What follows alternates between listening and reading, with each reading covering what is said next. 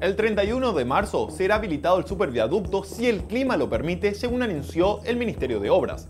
Los trabajos van muy avanzados. La semana pasada se levantaron las 27 vigas y ahora ya se trabaja a tiempo completo en el pavimento. El túnel ya está iluminado y pavimentado, así que solo falta que se haga el revestimiento de las paredes. Cuando se inaugure esta obra, permitirá agilizar el tránsito a 65.000 vehículos todos los días. El gigantesco proyecto da trabajo a 300 personas entre los turnos mañana, tarde y noche, gracias a la inversión de 124 mil millones de guaraníes. Para La Nación, soy Santiago Sabatiero.